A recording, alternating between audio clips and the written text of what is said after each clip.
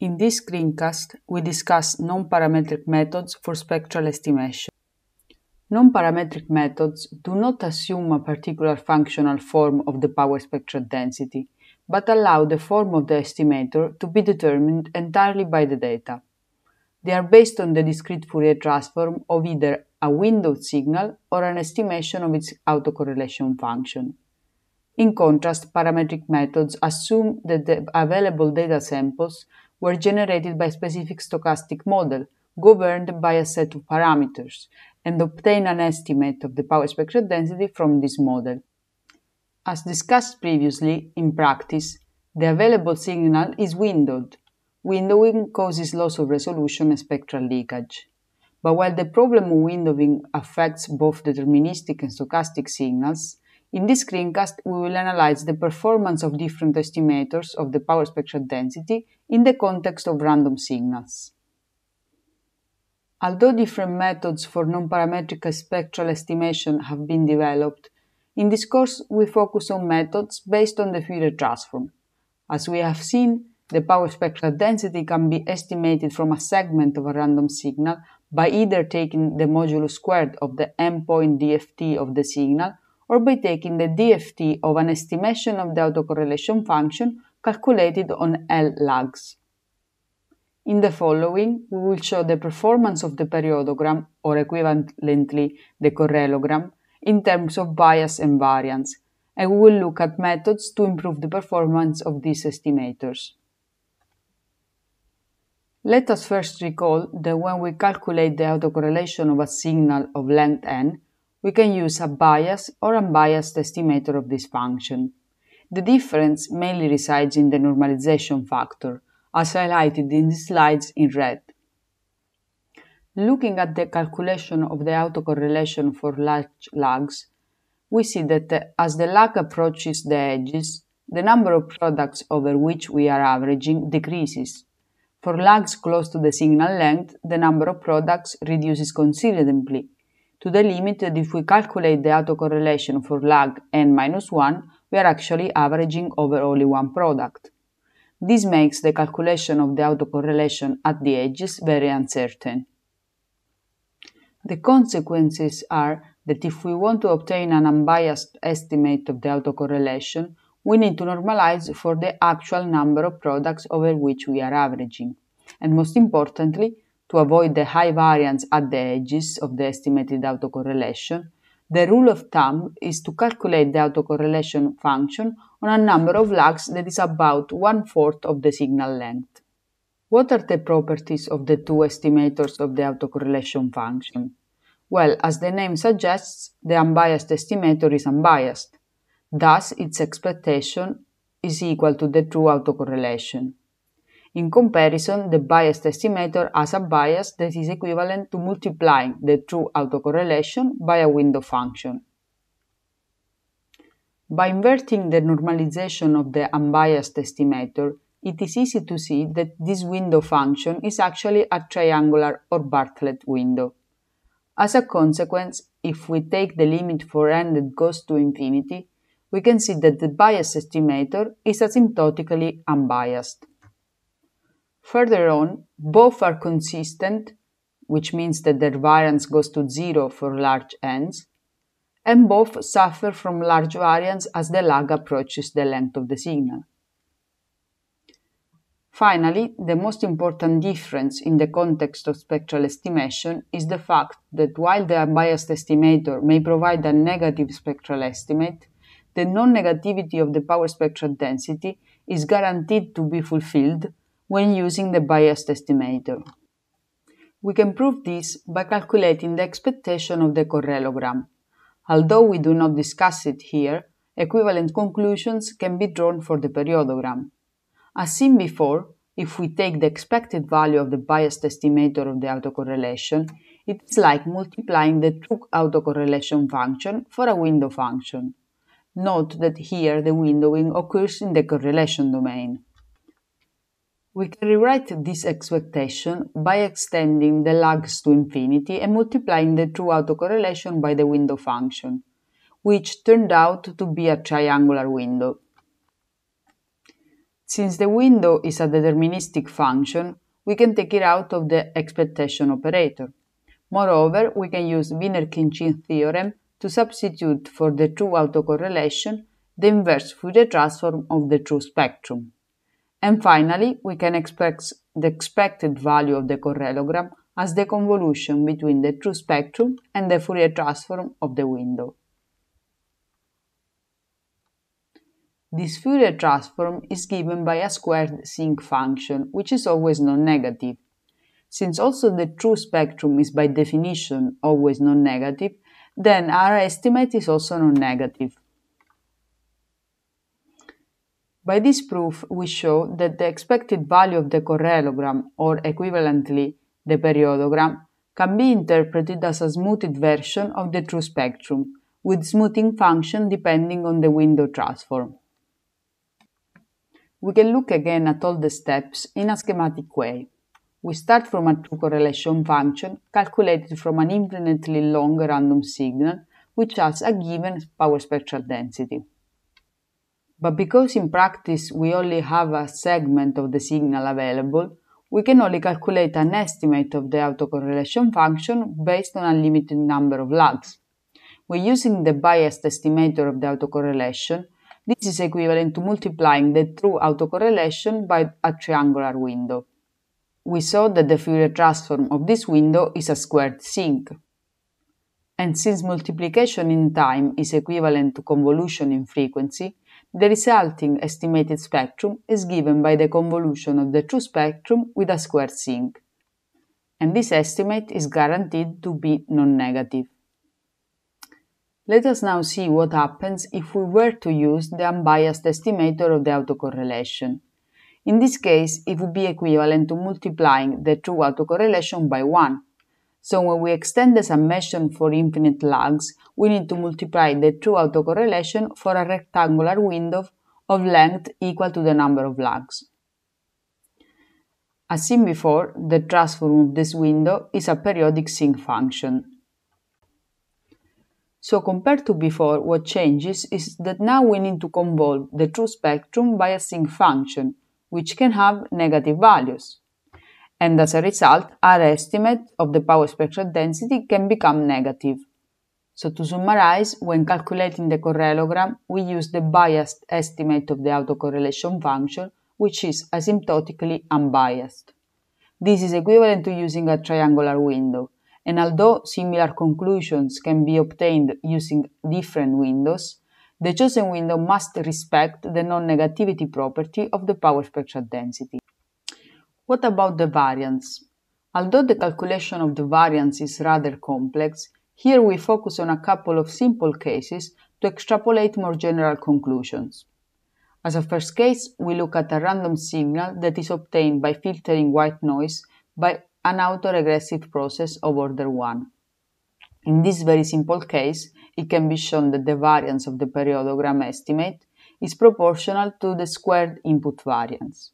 From the expression, it can be noted that the variance does not decrease for large n. If we extend the example to any white Gaussian sequence input to an LTI system, we obtain that the variance of the periodogram estimate is proportional to the square of the true spectrum, and also in this case it does not decrease for increasing n. More in general, we can state that the periodogram, or equivalently the correlogram, is not a consistent estimator of the power spectral density, and its variance is proportional to the square of the true spectrum. Because of this, several methods have been proposed to improve the estimator performance. The first improvement was proposed by Bartlett in 1953, and it is known as the averaging periodogram. The idea is to divide the original windowed signal of length n in k smaller segments of length m. For each of these segments, we can calculate a single periodogram, so to obtain k different periodogram estimates. Finally, we take the average of these periodograms. What happens to the bias and variance of this estimator? Since the length of, of each segment is now shorter, the bias is actually increased. However, due to the fact that we average over k periodograms, the variance is reduced by a factor proportional to 1 over k. To mitigate this increasing bias, Welch proposed a method known as WOSA, that is an acronym for Welch Overlapped Segment Averaging. This method is very similar to Bartlett's, with the only difference that uh, it allows for overlap between the segments. By allowing this overlap, the k segments are now longer, and so the bias increases less compared to Bartlett's method. However, since the single periodograms are no longer independent, the variance does not scale any longer with 1 over k.